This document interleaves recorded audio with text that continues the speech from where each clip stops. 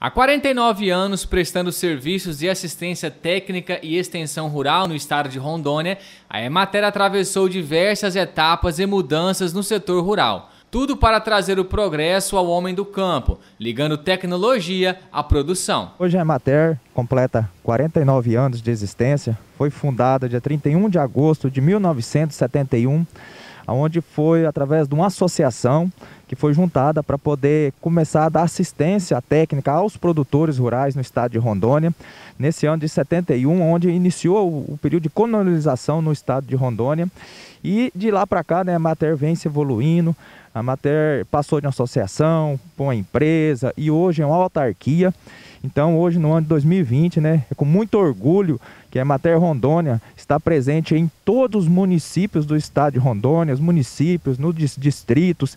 A Emater aí hoje nos quatro cantos do estado de Rondônia tem o escritório da Emater, onde tem uma equipe multidisciplinar, né, com engenheiros agrônomos, com veterinários, com técnicos, com a parte social, todo esse público aí para poder atender os nossos produtores rurais na atividade rural, né, das propriedades. Devido às normas de prevenção ao coronavírus, aconteceu uma live com o governador Marcos Rocha na manhã desta segunda-feira para relembrar e comemorar o progresso rural do estado. Queríamos né, fazer realmente um grande evento, né? uma festa realmente para comemorar esses 49 anos da Emater.